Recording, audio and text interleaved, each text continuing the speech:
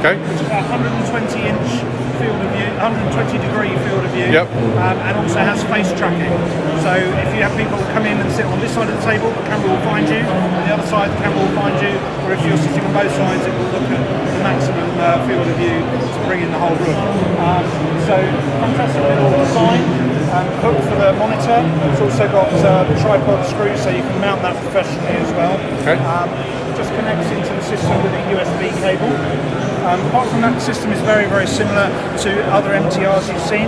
Um, apart from the fact that you have this really stylish uh, display um, console, which has an adjustable kickstand, a bit like uh, a bit like a Surface Pro, something like That's that. the same the same one that comes with the uh, the bigger ones, the 500 and the 800. Yeah. Exactly. And then the uh, audio is managed by the CP900 speakerphone, Okay. which is also available as a, an independent accessory for Teams home users or mobile users. Okay. But in this case, is USB wired into the NUC PC. Don't look down there, too many wires.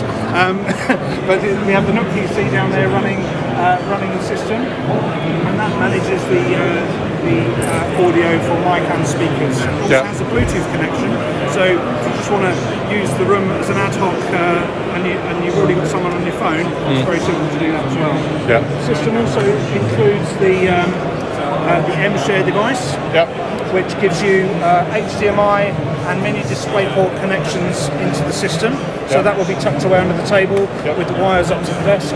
Um, and that is also the wireless receiver for the dongle. Yep. So this is a, a, a peer-to-peer wireless connection. Yep. Just plug it into my laptop, press the button, I'll present it to the system. Yep. So very simple.